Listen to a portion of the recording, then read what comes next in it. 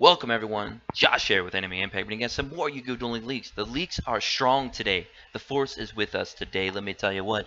We got a new leaked image here. Uh, it shows some of the cards that we already got from the new tagged uh, duel event, which I already went over in my live stream. If you have not checked it out, definitely go check that video out. I went in detail of all of that event.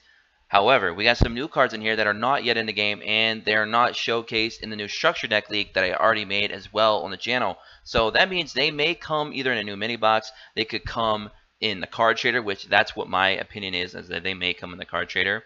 Now, the new cards I'm referring to is we got a new SR coming, we have a new UR coming, and another rare coming, uh, which is really, really cool. And we're going to talk about some of those here right now and how they can actually change the meta. Not so much the first two we're going to talk about, but the third one for sure. I'm saving the best for last. All right, anyways. So the first card we got here is Kinetic Soldier. Kinetic Soldier is a machine effect, 1350 attack, 1800 defense, machine. When this card battles with a warrior type monster, increase the attack and defense of this monster by 2,000 points only during damage calculation. Now, of course, if you're playing against an Amazoness or an Anki user with Destiny Heroes, this could be a big beat stick. Like, you're talking 3,350 attack or 3,800 defense. Now, this card could do some really, really, really cool shenanigans uh, if you play them as like a stall card, if you're playing against those two types of cards, for example.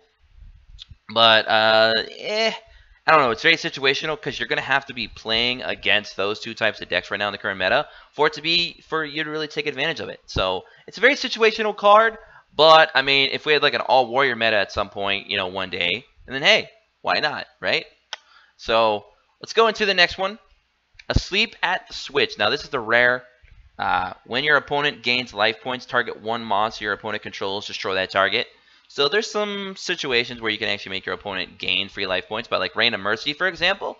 Rain of Mercy with a, Asleep at the Switch, you know, that's a combo. It's not the greatest card. Uh, it's pretty cool. It could even work with the new uh, dragon that we showcased, the new um, material dragon that I uh, talked about in my last stream, so definitely go check that out.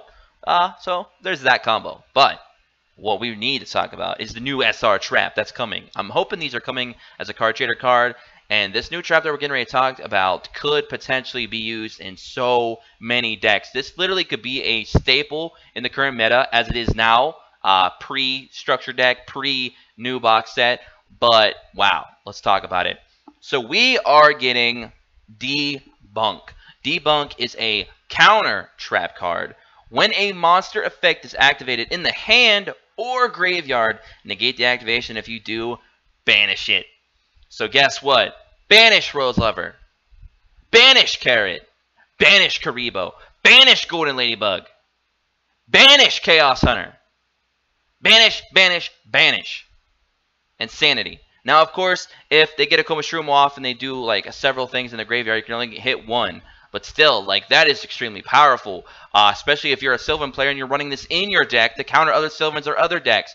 This banishes Celestial, so now you don't get that free two uh, two draw off of your Destiny Hero Celestial from the grave. Like this could do so much in the current meta, it's insanity. This is this is huge. This is this is absolutely huge.